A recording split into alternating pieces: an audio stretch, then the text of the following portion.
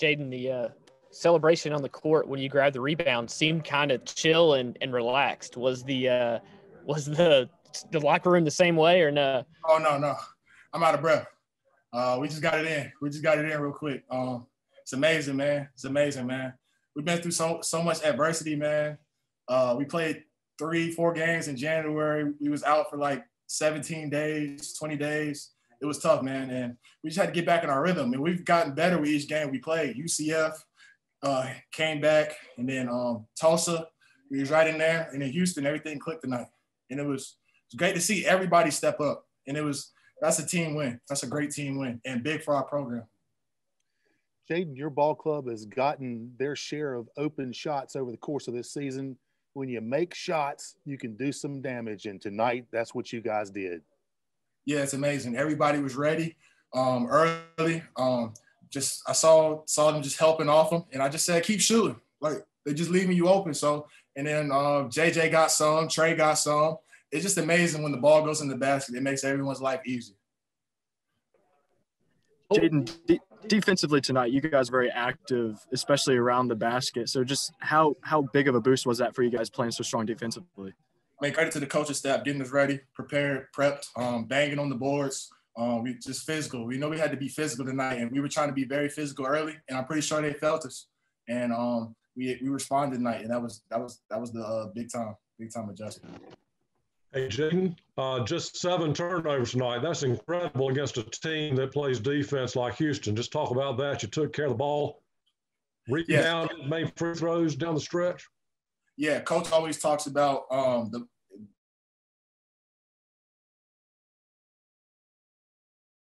to stay in the game, and we did that tonight. We got a lot of possessions, got a lot of shots up, and and breeded off our defense. We made them turn the ball over a lot, and we got rebounds, and it was, it was we made it tough for them tonight.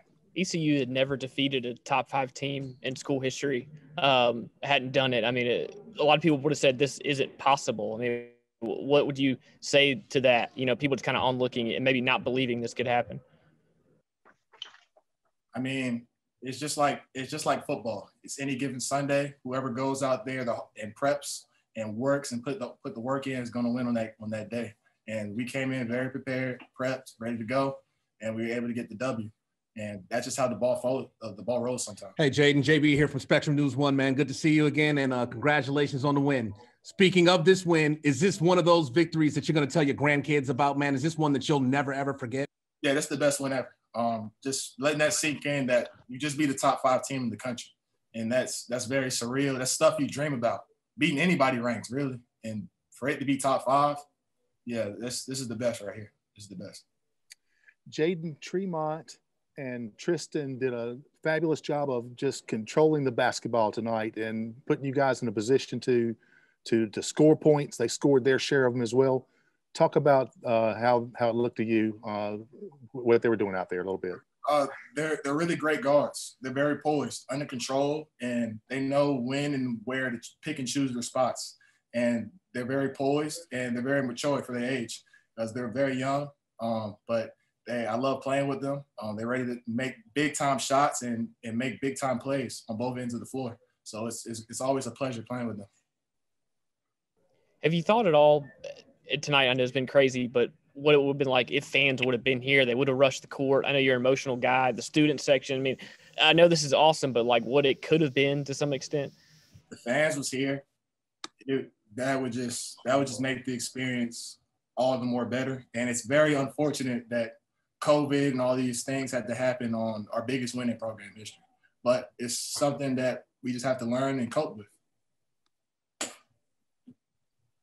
What does this do for the mindset of this ball club and this program moving forward with to your belief system and this ball club's belief system now that you've proven that you can hang with one of the best? well, you just beat the number one team in the conference. So then your mindset is if you can beat the number one team in the conference, you should be able to beat everybody in the conference. But you also have to still have that same mindset and prep that you're playing the best. So you can't just, if we go play, uh, you know, like UCF again, we can't have like, oh, they're UCF, they're not Houston. We have to have the same mindset and prepare. And it, it comes with us gelling together and getting back to practice and getting our rhythm back. That's all it, that's all it takes. Jayden, did as far as the game is concerned in the second half, it felt like you guys were very loose. You were having a lot of fun. It seemed like uh, with Houston that they were feeling a lot of pressure as the clock was ticking down. How, how do you feel about that? Uh, I, I feel like they were just running out of time and they knew it.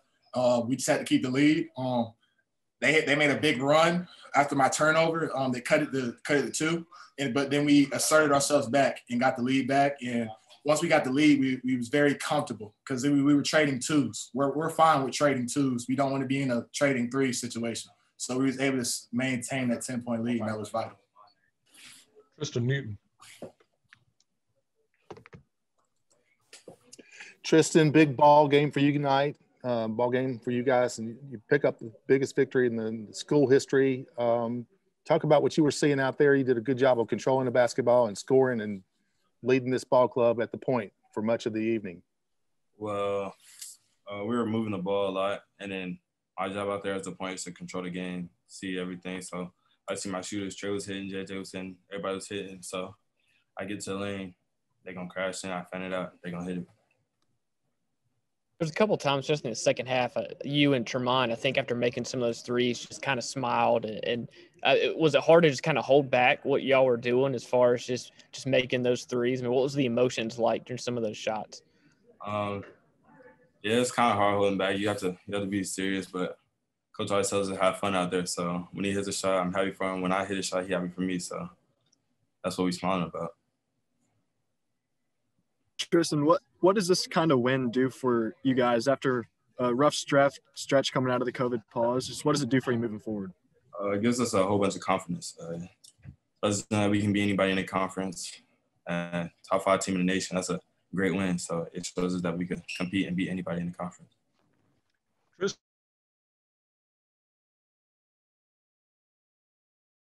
Tristen, can you talk about kind of your mental, maybe a little bit of a slump and uh, dealt with some absences, but how did you get ready tonight to perform like you did? Well, I do the same routine I do every game. Come in uh, a little bit early, get some shots up, but coach and teammates tell me to keep being aggressive. So I think I was a little more aggressive tonight, and it helped me a lot. I'm aggressive. They help out. I can give it to my teammates, and if they don't help, I can get to to rim, get a mid range. Tristen, you guys have been so close in the month of January. Uh, I know it's got to be special to have the monkey off your back, so to speak. Right. It was really the past couple games. It's been our first half, to be honest. Like second half has been great. So we knew that we weren't down big because UCF was 20, Memphis was 30. So we just had to be great. I mean, like be close there in the second in the first half so we can pull it on the second half, finish off the game. How big is it going to be for you guys now to begin to follow this thing up and and try to find ways to to extend this thing a little bit and and change the mindset of this conference on you know when they play East Carolina it's going to be a little bit more difficult. Oh, it's going to be real big. So it gives us a lot of confidence. And confidence, like with a confidence, you hit shots that you know you can hit. You you're just a lot more confident, do everything that you used to doing. So he's gonna be real big, and we just gotta keep stringing them together. Was there a point? Maybe you mentioned the first half, but there a point where y'all kind of believed it could happen, you know, and started really thinking and looking at the school board, that type of thing? Oh well, I mean, we come into the game believing that we are gonna win. We do that every game, but it was like um, when we was up ten, we were up ten. I think it was 67, 57, and then they started fouling. We are like, we got this. Just keep knocking down free throws, keep guarding, and get rebounds, and we'll come out with the victory. Obviously, obviously good win, you know, for the program. But the guys uh, played to win, which is most important. Not just played hard. I thought we competed and tried to win the game. I thought we had a lot of guys step up. Obviously, Jayden and uh, you know, I thought Tristen played well. I thought it was a real good team effort, especially some guys down. So, uh, real good win for our guys sure has to be nice when guys are hitting shots like they should. And you've been getting wide open shots for, for quite a while now. And a few guys will be on, a few guys will be off. You got the whole effort tonight. Uh, what's it feel like? Oh, we shot the ball well, which makes up for a multitude of sins. I mean, that's that's one of the biggest things. And um, you know, I, I, thought in stretches our defense was pretty good, but I thought our offense, I thought more so because we didn't turn it over. We were one for six in the first half on bad shots, and I haven't seen the second half stats, but I can't imagine we took more than three or four bad shots, which are the same as turnovers. So it was good that the guys were, you know, made, made good decisions with the ball and were, were not necessarily, uh, you know, we weren't reckless. I, I, did think the ball moved pretty well. And like you said, when we have 20 assists on 27 field goals, that's a good offensive ratio. Joe, you were probably at Kansas going back on the wrong side of these kind of upsets and these these kind of nights, you know, getting knocked off when you're ranked so high. What was it what was this like for you personally to to kind of pull an upset that's going to register obviously on Sports Center and have a kind of national uh, appeal and uh, impact?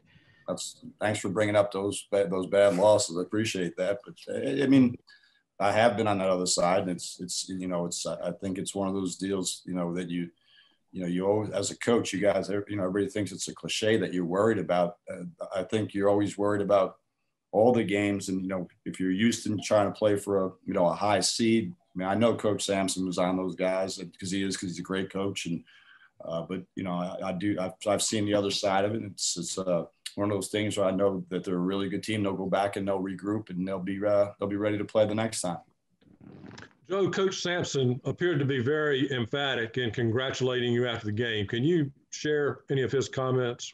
He was just very gracious as usual. I mean, I, I have a lot of respect for Coach. I mean, I've, I've known him for a long time. Uh, he just said a few things to me about you know things we've talked about. He's been through the building process and uh, just very gracious, and and uh, I appreciate his friendship.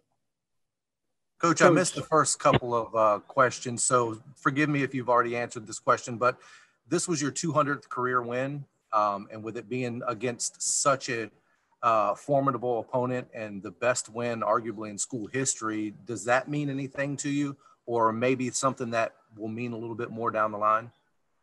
You know, I, I, I think it's good for the guys because they've stuck with it. I mean, it's been a it's been a rough month. You know, we've had guys in and out, guys in and out of you know injuries, pro you know COVID protocol. You know, it's been a disjointed month for, for, our whole team. So just for them to stick and I thought we did some good things against Tulsa. I thought we played better. I thought we did some good things today. Obviously, we did, you know, it's a great win for the program, and, and hopefully it's something that you know we can build on because they'll see that you know you, you, you got to win every day in practice. You can't you know it can't be one day on, one day off, and uh, I also like to see the guys get rewarded because that's something they've never really experienced since they've been here. And coach, another follow up to that um, sports and in general, you know, in football, there's the 12th man. In basketball, you know, that sixth man is usually uh, the crowd. Being able to to win this game without that atmosphere and that energy and that extra push, does that say a little bit extra about this team? I, I think this not just for our team and and, and going on the road also. I, have got to give all these kids a lot of credit, whether it's Houston or East Carolina or, or all these other for them playing with no fans, these guys have been lined up playing really hard everywhere. And we went to, you know, we've gone on the road and played at SMU. Those guys played really hard. No, I think I think these kids just want to play. I think it's it it is weird. I, I think they're starting to get used to it, but um, I think it's it would have been nice for our fans to be able to share that. Now I do say it would have been an awesome you know opportunity for our fans to see Houston play and watch us you know win that game, but uh, I got to give the credit the kids all you know throughout the country the credit for for lining up and doing this this year.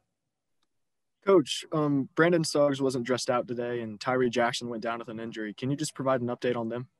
Uh, we'll get a medical update on, on both of those guys. Uh, Brandon was has been banged up a little bit, got hurt against Tulsa, so hopefully we'll get some news on him tomorrow. And uh, I'm going to go down and I, I got a preliminary um, update on Tyree, and we'll, we'll find out where that goes probably a little bit later tonight a bit of a two part question uh, for you. Where does this win rank for you, and what does it do for the mindset of, of this team moving forward? Um, I mean, for the mindset, I think the biggest thing is learning, you know, is us on a consistent basis learning how to compete every day and seeing things that, you know, eh, the little things do matter. Uh, believing is a, is a, you know, believe that you can win the game. Now they've seen that they can win a game. Hope that'll give us some confidence going forward uh, it's a great win. I mean, I you know I enjoy them all. I mean, this was a this was a really good win for our program, um, and hopefully that's something we can build on.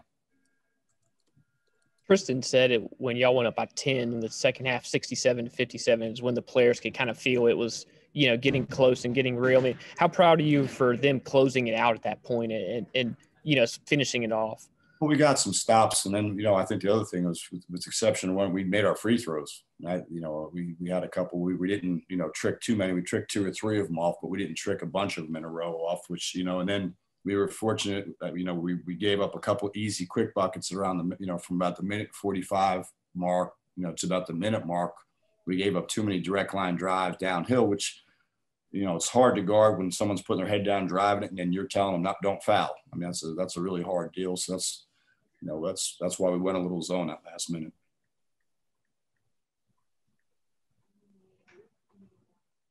Anything else for Coach guys? Congratulations, Coach. Thanks, Thank, thank you, guys. Congratulations. Thank you.